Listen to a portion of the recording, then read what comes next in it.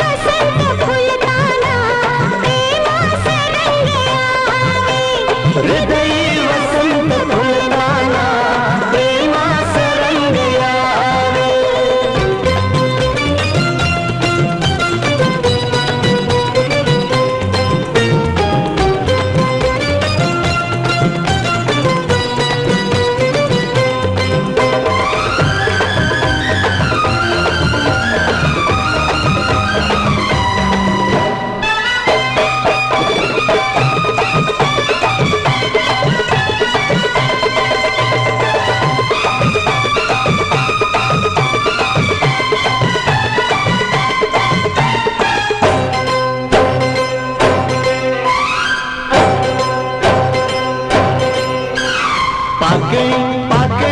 उमली प्रीत भर ले ली हाय